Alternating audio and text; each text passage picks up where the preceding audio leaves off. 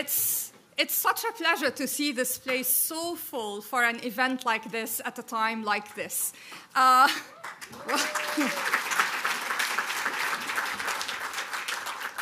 well, first of all, let me introduce myself because I am new to this institution. I'm Lina Khatib, and I have the pleasure of introducing myself as the director of the SOAS Middle East Institute. Um,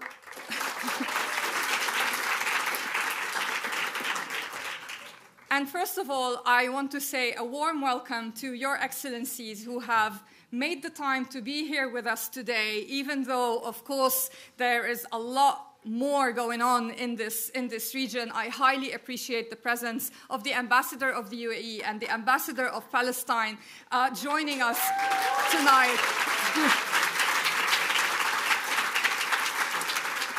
And of course, all the members of the diplomatic services who are also with us tonight. There's too many of you to, to name, um, but it's really uh, very um, encouraging, to be honest, to see that at a time like this, the Middle East still looms large in our hearts. And this is what the SMEI, the SOAS Middle East Institute, is all about. Uh, I have the pleasure of welcoming uh, Caroline and Sir Tim Lancaster from the um, Mohammed bin Isa Al Jaber Foundation. Now, you may not know, or you may know, that the origins of the SMEI began a long time ago here at SOAS as the LMEI, which at the time stood for the London Middle East Institute. And it was thanks to um, Sheikh Mohammed uh, bin Isa Al Jaber and his foundation that the seed was planted for us to be here today because that was how the SMEI began. For many years, it was known as the London Middle East Institute, and it did really great work to really put the Middle East at the heart of London.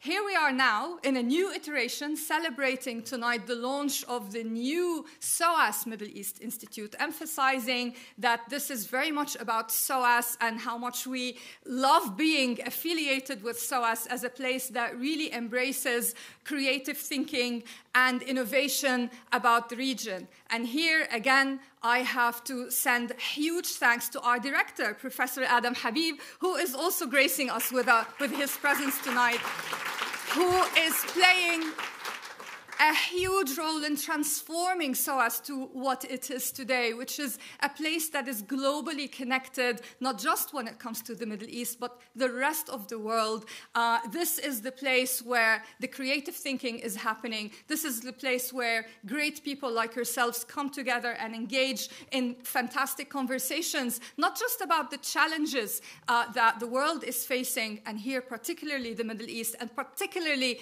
at this time of great turmoil in the region, where, as we know, there is devastation at an unprecedented scale, especially in Gaza. And this is something that we, as the SOAS Middle East Institute, have been engaging very closely on. And not just through looking at the challenges and the suffering of the people, which of course is very important, but also through shedding light on the creativity, shedding light on the talent, shedding light on all the positive stories that happen in this region in spite of all this turmoil, in spite of all the violence, all the suffering. This is a Middle East that we are proud of, and that, you know, I'm so happy that all of you are here to celebrate with us having the SOAS Middle East Institute as a platform for talking about these issues, for highlighting all the positive stuff happening in the region, but also thinking about solutions and potential alternatives for the challenges faced in this region. And in this regard, there's no better person to inaugurate the SOAS Middle East Institute through a public lecture than Sheikh Sultan Sooud Al-Qassemi. Sheikh Sultan needs no introduction, but I will just briefly say he is one of the most renowned public intellectuals of the Arab world. Uh, he is uh, a commentator and a thinker and a, and a, writer on politics, art, culture. He is a champion of art from the Arab world, especially contemporary and modern art. And he, in fact, is one of the world's biggest collectors uh, of art from the region. And some of you may know that he has spent the last few years uh, giving uh, a, course that he designed on politics and art uh, from the Arab world at renowned universities all over the world. And I'm very happy to announce tonight uh, that we have uh, Sultan having behind the scenes been working with some of our students at SOAS from, the, uh, from different disciplines, but mainly from the School of Art, on co curating an exhibition that we're going to host at the Brunei Gallery here at SOAS uh, from July till September this year. And it's co curated by SOAS students using the Barjeel Art Foundation, which is the art foundation that hosts Sultan's collection. It's a foundation that he created due to his passion uh, about art uh, from the region. Uh, he is someone who represents the values of the SOAS Middle East Institute in terms of progressive thinking, in terms of ethics, in terms of focusing on creativity, but also diversity, which is at the heart of the Middle East. So, without further ado, please welcome Sheikh Sultan Sooud Al-Qassemi. Thank you. Good evening, uh, everybody, and uh, thanks to uh, my dear friend uh, Lina Khatib uh, uh, for this very, very generous introduction to be uh, to be said to embody the values of uh, the School of Oriental and African Studies and the Middle East Institute uh, is a huge honor that I hope I can uh, live up to. I also want to say that um, it's a huge honor to be addressing uh, a crowd that includes so many renowned individuals, uh, including their excellencies, the ambassadors who are here, Mr. Adam Habib, some of some some scholars that I that I follow and I and I uh, admire so much. And uh, a lot of the research that you will see uh, here emanates from individuals who are here in this room uh, today, Venetia Porter, of course, Nadine Nuruddin over there, Maisa Kafil, um, and so many others. I need to wear my glasses just to check who else is here. but, but, so many others. We have uh, Saeb Eigner. I mean, this room is uh, bursting with, uh, with intellect and with some of the uh, most important scholars, of course, Dr. Rida Momni. I mean, I can go on and on. Uh, there are so many people here, so congratulations. And uh, I think congratulations to me that I was able to attract uh, all of you. so lower your expectations. Um, um, and finally, uh, um, you know, we are going to be going, uh, since some of you didn't know what the talk is about, so they asked me, what is this talk about? I think people just wanted to meet each other and, uh, and see each other in different circumstances. So this is a talk about uh, political art by Arab women artists. So there's nothing by men in this uh, this presentation. It's 100% works by women artists from across the Arab world. So we will go on a journey across the Arab world through the eyes uh, and the paintbrushes of uh, women artists. Um, let me begin by saying, um, as someone who is interested in Arab modernity and the 20th century especially, um, I often think of art in historical context. Uh, the Egyptian revolution of uh, 1919 that led to the commissioning of Mahmoud Mukhtar's Renaissance d'Egypte or Egypt's Awakening monument, or the Nakba or catastrophe of 1948 that resulted in the expulsion of 700,000 Palestinians, including artists uh, such as Ismail Shammout and Zulfa al-Saadi, and the courageous Algerian uprising against the vicious French occupation in the 1950s and 1960s that was captured in countless monuments, songs, stories, and artworks. Today, however, numerous other uh, natural disasters and political conflicts have plagued our region, causing the destruction of homes and lives and livelihoods. In Sudan, it has sent tens of thousands into Kenya, Egypt, and Ethiopia, including artists Galal Youssef, Thabyan Bahari, Bakri Muad, Yasser Al Ghari, and Hani Khalil Jawdat. And sadly, in our beloved Palestine, another Nakba or catastrophe is taking place in front of our very eyes and screens, resulting in tens of thousands of deaths and destruction of infrastructure, including cultural institutions. Already, we lost leading poets such as Rifat al Arir, photographers including Majd Arandas, and painter Muhammad Sami.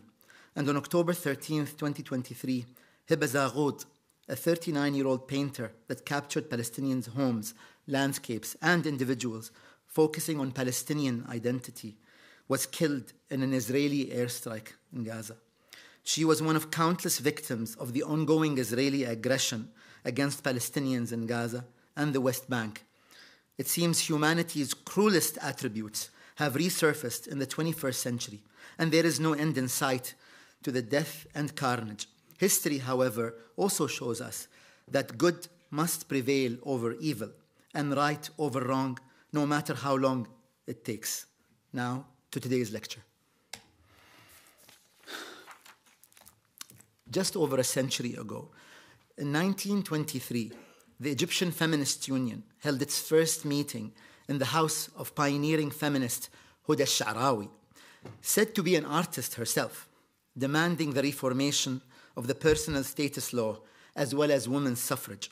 In the meantime, and despite there not yet being a school of fine arts for women, leading women uh, names started to emerge, such as Amy Nimr. In fact, when the Cairo Fine Arts Institute was inaugurated in 1908 with an impressive roll of students including Mahmoud Saeed, Raghib Ayad, and Yusuf Kamel, it did not include a single female student. Women in Egypt and across the Arab world would have to wait almost three decades until an institution dedicated to training women uh, artists was opened in 1937. This may explain why young Egyptian women, such as the aforementioned Amy Nimr, resorted to studying abroad in institutions such as the Slade School of Fine Arts here in London, where she enrolled in 1916. This three decade gap effectively meant that men had a head start of an entire generation over their female peers, thereby allowing them to ingrain themselves in society and be included in major museums and collections of institutions such as the Cairo Museum of Modern Art that was opened in 1932. Lack of education, opportunities, however, was not the only obstacle that women artists faced across the Arab world. Islamic inheritance law also meant that they would have less access to funds um, in case a, uh, a parent passes away, and social norms added an extra layer of challenge. The 1920s witnessed a proliferation of women artists from across the Arab world. In addition to the aforementioned Amy Nimr of Egypt, names such as Mary Shiha Haddad emerged in Lebanon, while Sophie Halabi's landscape of Palestine reflected the serene beauty of the land.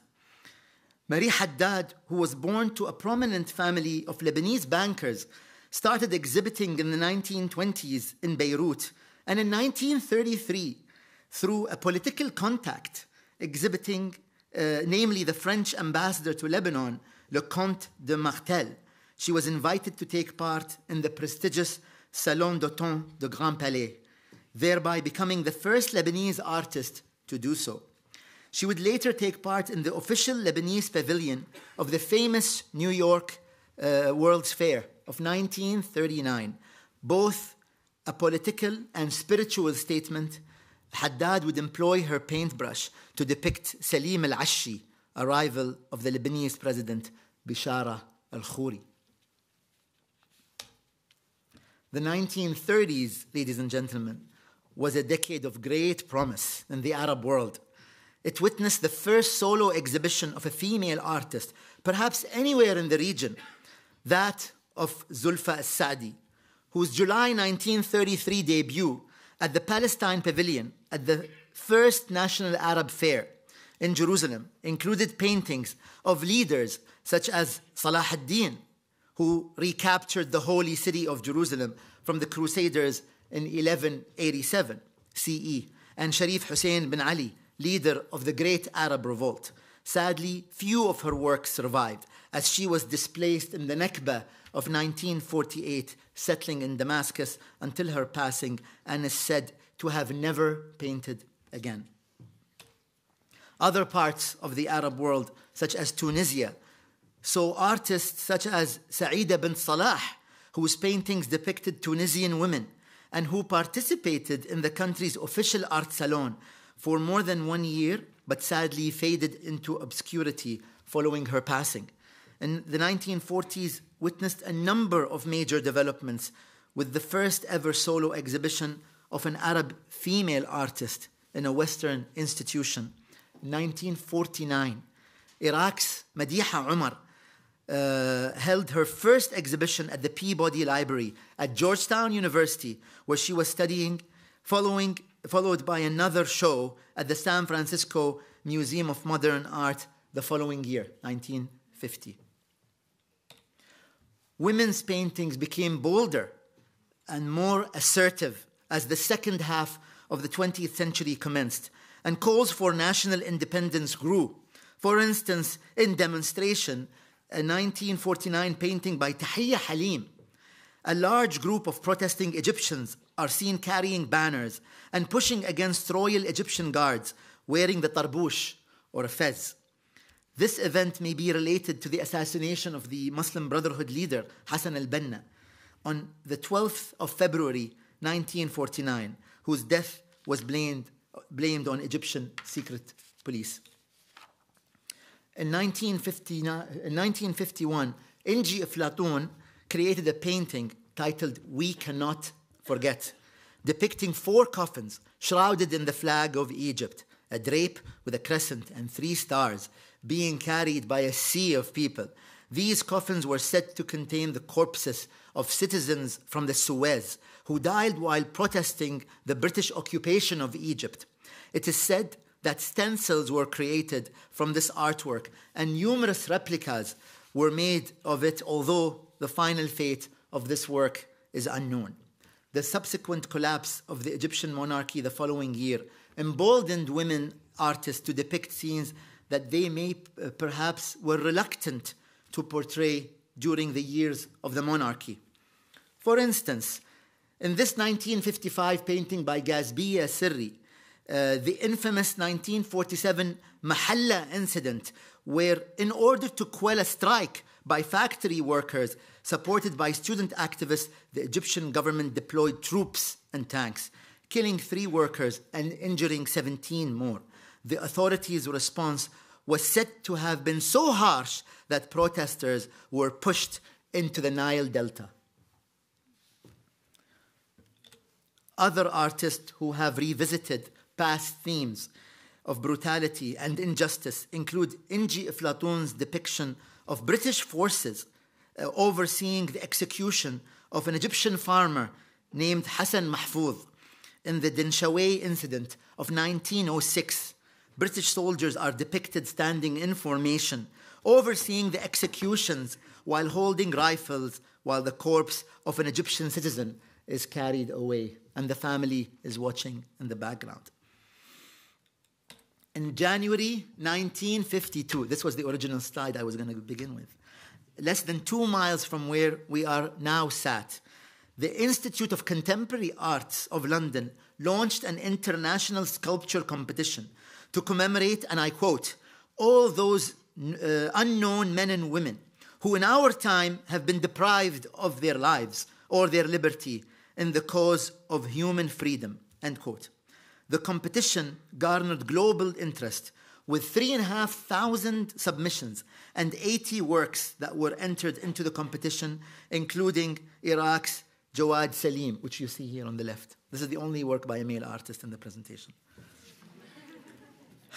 Maquette for a monument to the unknown political prisoner, 1952 1953, uh, was uh, amongst uh, Fatima Muhib, sorry, amongst the array of artists who sent in proposals was a lesser known female Palestinian artist called Fatima al Muhib, who was born in Jericho in 1920 uh, and educated in Egypt's prestigious Higher Institute of uh, Fine Arts in Cairo. She emphasized the female figure standing uh, up uh, with her uh, eyes uh, blindfolded, surrounded by three kneeling individuals, one child and two adults. Her right hand is carrying a scroll indicating her plight.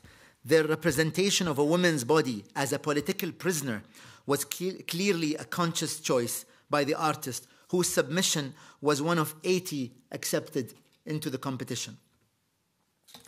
Jewish women artists of the Arab world also actively depicted political events.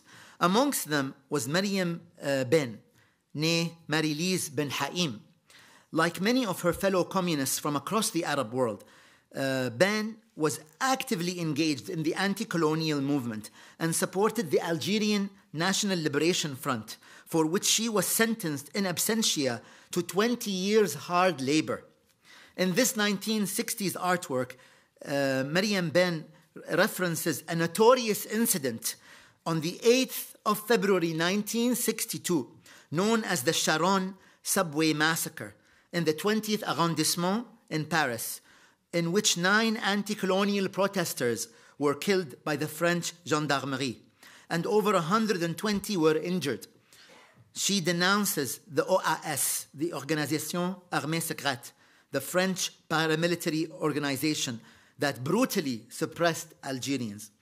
In fact, the Algerian War of Independence was a pivotal moment for many women artists of the Arab world. Singers such as Warda al Jazairiya, Warda the Algerian, and Fayrouz sang songs of solidarity and freedom, specifically naming activists such as Jamila Bouhired and their, in their lyrics, while the war pushed poet and writer Etel Adnan to start writing in English as a protest against the French establishment, and also shifting her focus to visual art as a creative means of expression, which is why you see Etel Adnan's work sort of emerging in the 1950s in her third and fourth decade.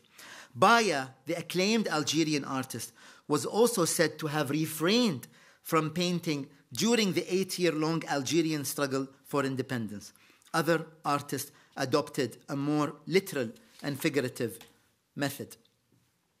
From Syria, we see the work of Hala Quwwatli, who came from an Arab nationalist household her father being the former president of uh, Syria, Shukri Quwwatli.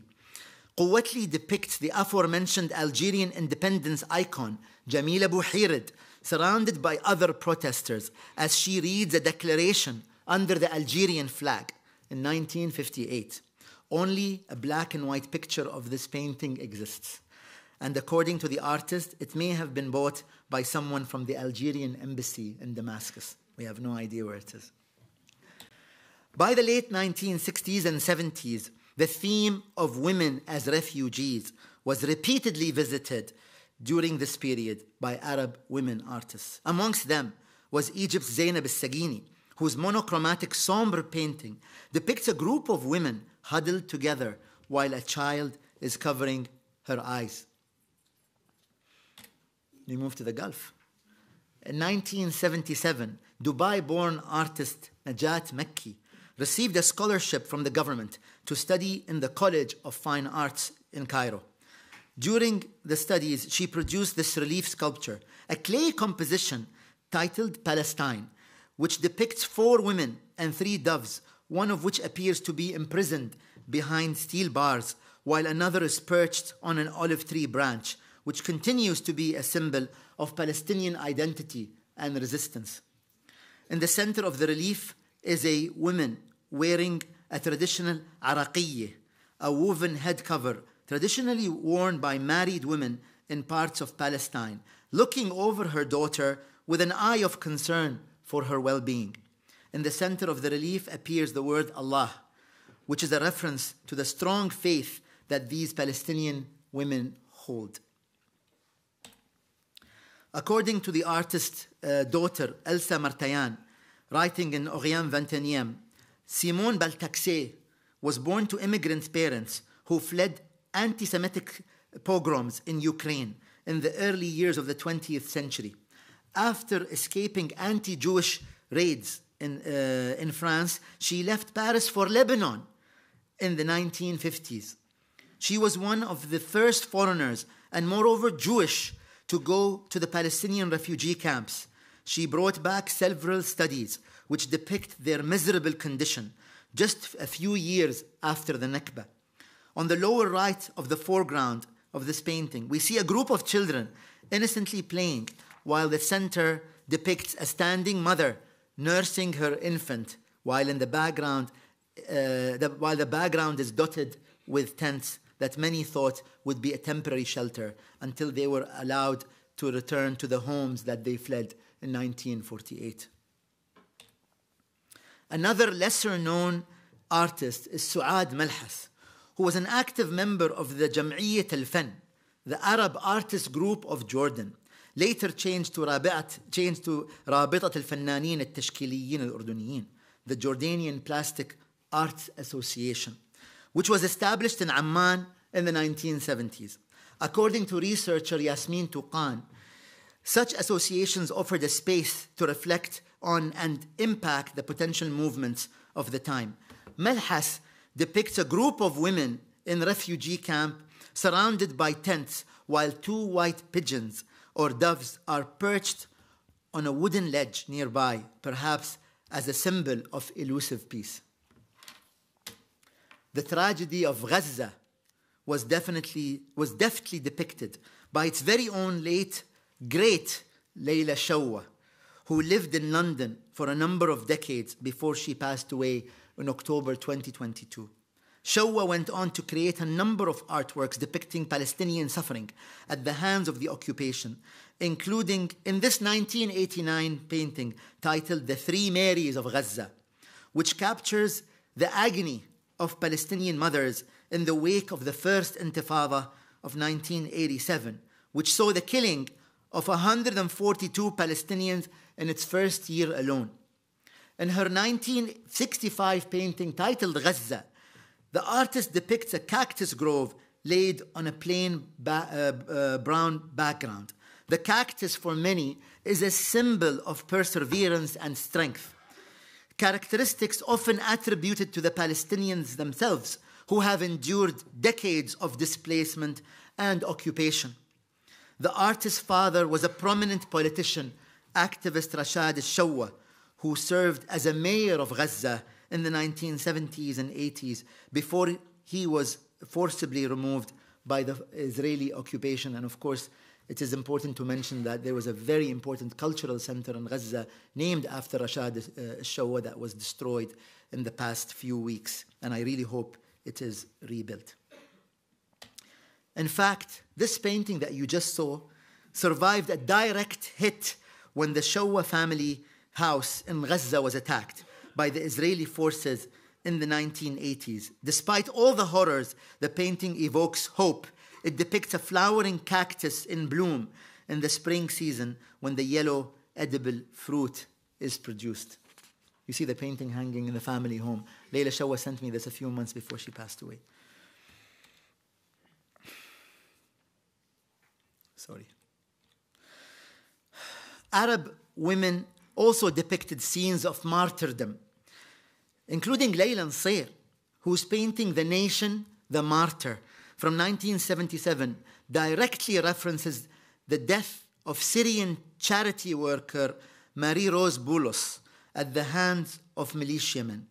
During the early years of the Lebanese civil war, Miss Boulos had volunteered to look after deaf, mute, and blind children, from whom you can see here mourning her passing while her co workers and friends carried her body. And notice how, when women depict these scenes, they place women at the forefront and men who are there are placed in the background. So uh, women notice what we do to them, so they do the same back. they push us back. Okay?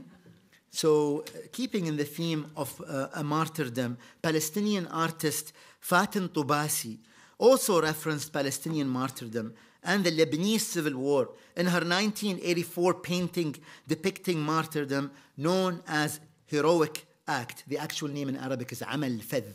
I don't know how to translate it.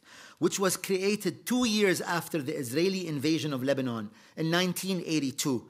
Tobasi, who studied at the Repins Academy of Fine Arts in St. Petersburg in the early 1980s, portrays a mother looking over the laying body of her daughter that is draped in the Palestinian flag.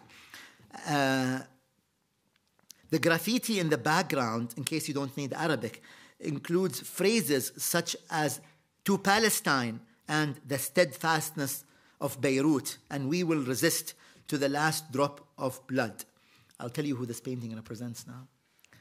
It is said to reference, uh, the artist himself, herself says, the 1976 killing of Lina Nabulsi, who a lot of you who know Palestine will know this history, a 17 year old daughter of a prominent Nablus family who was chased and killed by an occupation soldier simply for carrying a Palestinian flag. More recently, leading uh, Sudanese artist Kamala Ibrahim Ishaq created a painting titled Blues for the Six Martyrs to reference the Sudanese protesters who were pushed or killed by militiamen and then dumped into the Blue Nile, many of whom were said to have concrete blocks tied to their feet, according to one report in The Guardian. So these are individuals who are looking up at you uh, from the river itself, from the Nile itself. Very somber. Arab women artists also depicted their country's leaders. From simple portraits to political acts. In 1970, Saudi pioneer artist Safiya bin Zagar depicted King Faisal, who was a renowned modernizer and reformer, introducing, for example, public education for girls in, in Saudi high schools. In 1973, King Faisal led an Arab oil embargo as a response to the US backing of Israel in its war against Egypt and Syria. While leading Tunisian fine artist and the first native director of the School of Fine Arts of Tunis, Safiya Farhat captured the last known portrait of the anti colonial polit- uh, political activist Farhat Hashid days before he was killed in 1952 by La Main Rouge, a French terrorist organization operated by the French Foreign Intelligence. One of my favorites. Moroccan artist Malika Agueznay depicts in the semi abstract painting King Hassan II leading the Green March of 1975 that saw 350,000 Moroccans advance into the Western Sahara territory. Uh, you can also note the use, the use of Arabic calligraphy invoking God's name, as well as the red Moroccan flag featuring the lone star. However, no other leader has been depicted as often as Gamal Abdel Nasser by countless artists, male and female, from across the Arab world. Can you guys see where the King of Morocco is in this work? Shall I point to you?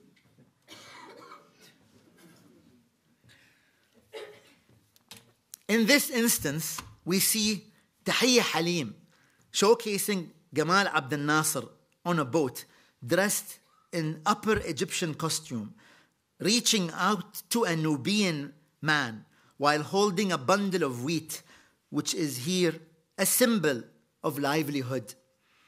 Ironically, and despite the title of this painting, The Happiness of Nubia, Abdel Nasser's policies would be detrimental to the people of Nuba. In pursuit of his dream to construct the high dam in Aswan, Nasser would force the relocation of dozens of Nubian villages. While other Egyptian artists who depicted Gamal Abdel Nasser include Maryam Abdel Alim. We'll see a work by her very soon. Many women chose to depict their fellow women as protagonists and not simply victims, especially in the wake of major conflicts. In 1968, for example, this painting by Syrian artist Maysoon al Jazairi, women are shown to be carrying knives and swords while standing outside their homes in order to protect their families and themselves.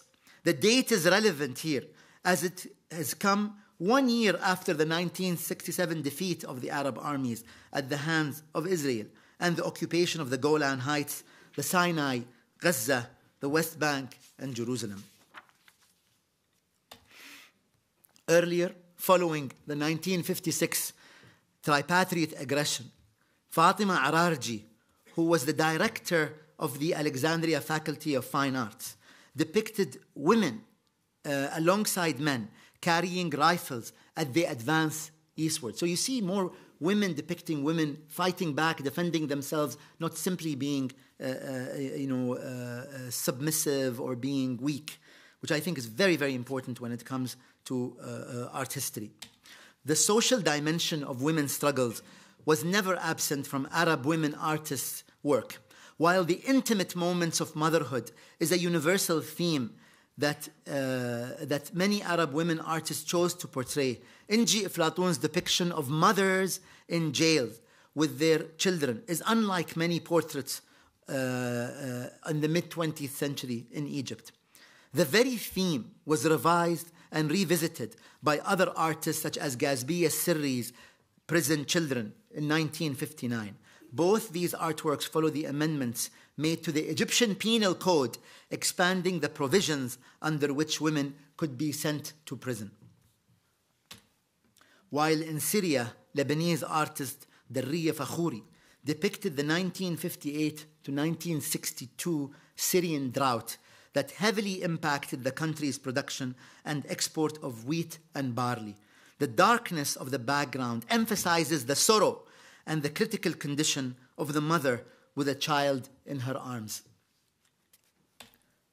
Racism and race is a constant theme in the work of artists of the Arab world. In this 1973 painting by Palestinian artist Tamam al Akhal, a laborer called Sleiman from Jericho is depicted. Jericho is home to one of the largest populations of Afro Palestinians, many of whom are descendants of pilgrims who came to Palestine, especially during the Ottoman period.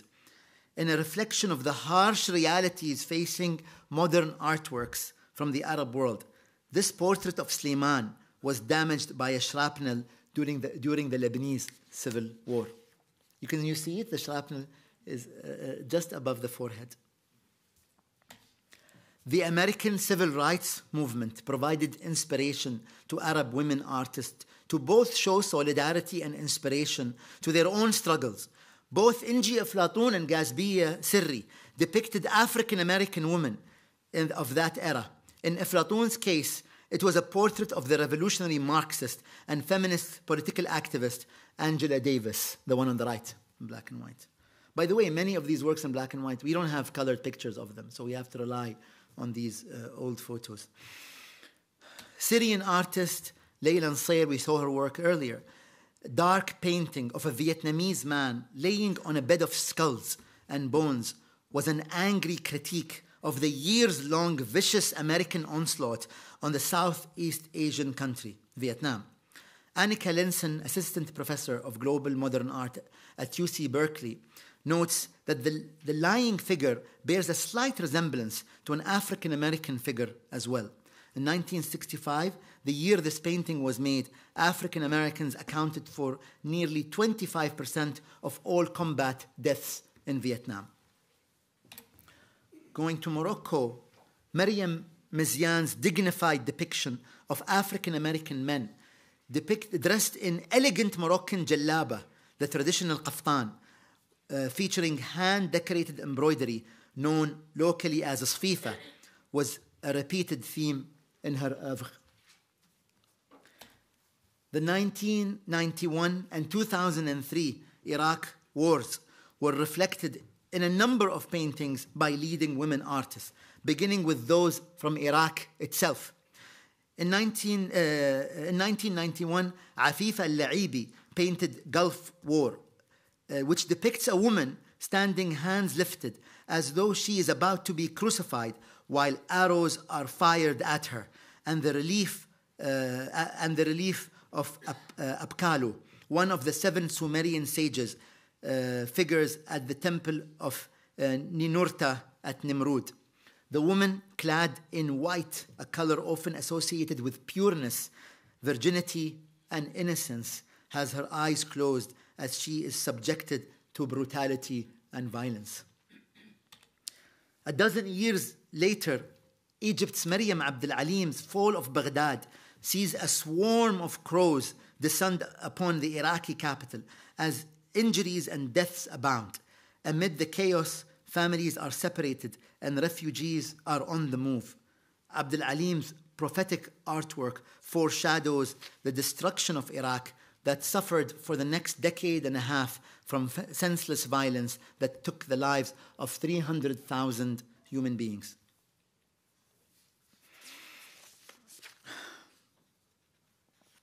Um, Suad Al Attar, a leading Iraqi artist based in London since 1976. By the way, did I show you the earlier slide? Yes. So now Suad al-Attar, a leading Iraqi uh, artist based in London since 1976, depicts the destruction and fires engulfing what was known as the City of Peace. Following the American invasion of 2003, this painting is an impassioned homage to the irreversible loss and distress experienced by Baghdad's inhabitants. Now, to peace. Arab women artists also tackled the theme of peace uh, even during the colonial era. For instance, Lebanese artist Blanche Ammoun was invited to present works at the Lebanese Pavilion in the 1939 1940 New York World's Fair. For the occasion of the New York World's Fair, she created four large murals, each depicting a peace agreement between the Phoenicians, Lebanon, and a neighboring civilization, including the Egyptians and the Jews. According to researcher Maha Aziz Sultan's book, L'art au Liban, du mandat français à l'indépendance, the Lebanese government had asked the artist Philippe Morani to oversee the Lebanese pavilion in 1937 under the theme of Phoenician Salon, which is probably where she got the inspiration from. As you can see here, the Phoenicians are signing a peace agreement with the Egyptians or with the pharaohs.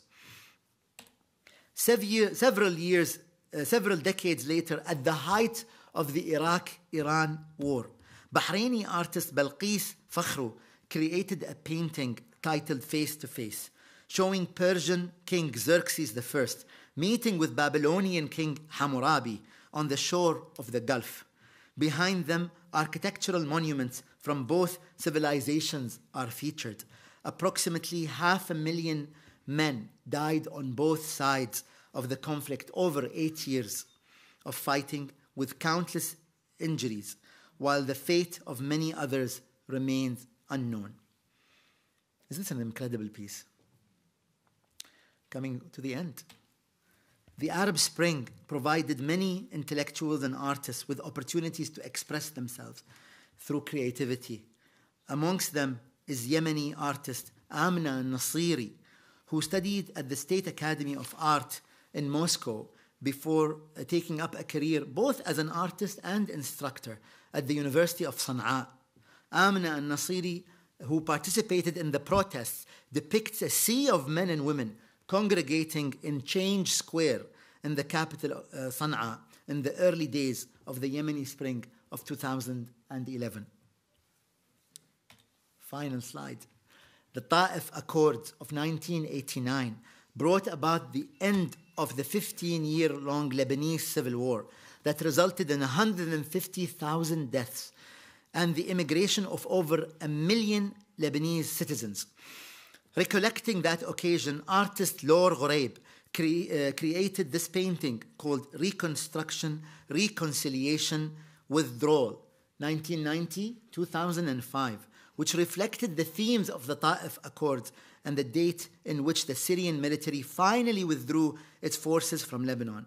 The artwork is filled with political slogans such, such as the phrase, We demand freedom, and the name of assassinated Lebanese Prime Minister Rafiq al Hariri, while the phrase, Tomorrow we play together, appears between both children.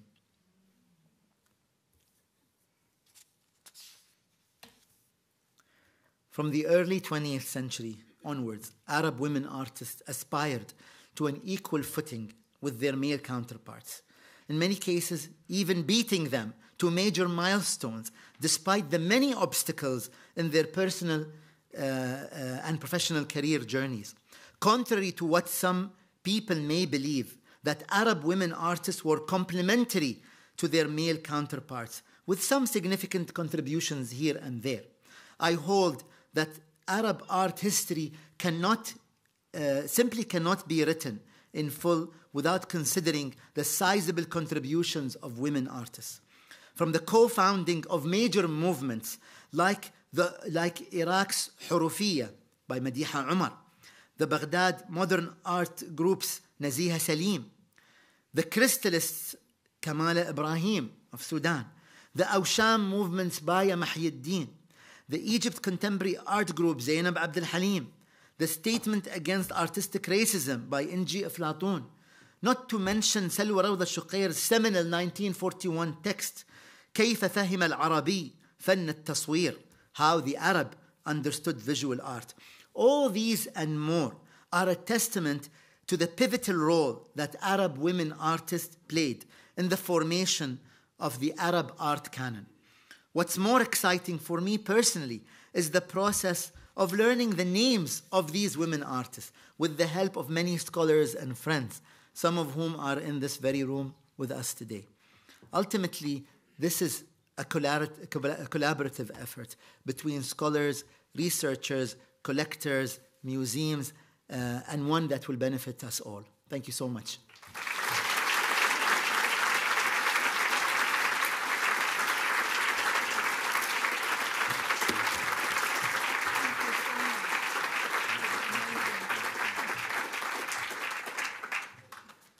I mean, I could listen to Sultan forever. Um, I just want to say a huge thank you to Sultan for this really wonderful, wonderful encyclopedic uh, uh, uh, knowledge of yours that you are now so generously sharing with us.